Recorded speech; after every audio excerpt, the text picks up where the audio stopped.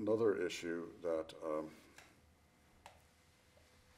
I, I think I would like, I enjoy uh, contemplating and acknowledging is that of uh, the uh, idea that we have referred to in the past of the building as the decorated shed and the building as the duck.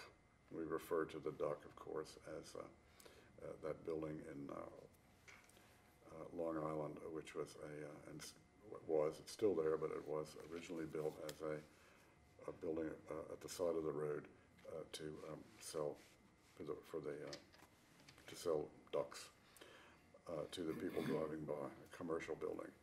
Uh, And in a way, it was a building therefore highly as symbol itself as symbol.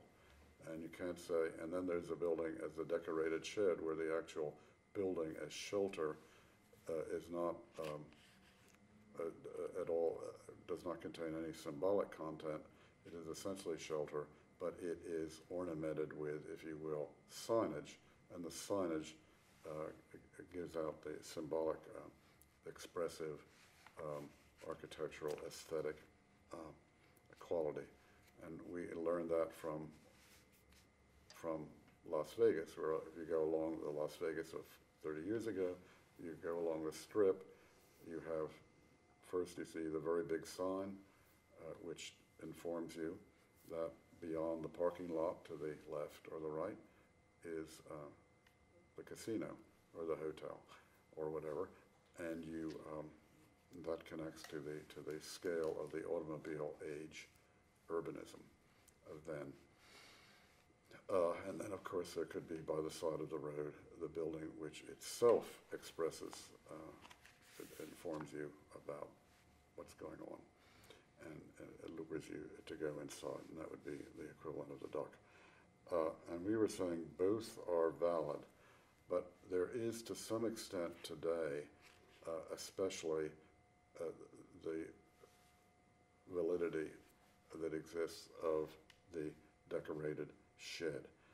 And uh, I've made the analogy before of the building where form follows function, uh, where the building is like a glove and derives its architectural quality from um, the uh, characteristics, the, the, the, the, uh, original and varied characteristics of the thumb. Someone, a glove for me might be different from someone who has a longer third finger.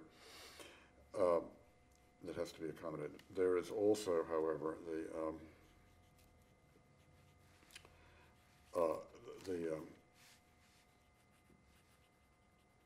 the, the, the today very much the um, because of the complexity of existence today and the evolutionary uh, quality of uses of buildings, there is very much the validity of the building as the shed in which many different things can happen at the same time. And we've had great fun and we've learned a lot from studying uh, the loft building. And I've mentioned before the great tradition of the loft building, uh, where you see that as, let's say, the Italian palazzo, which is a generic building that contains rooms that, in terms of their ornament, have a lot of individual character.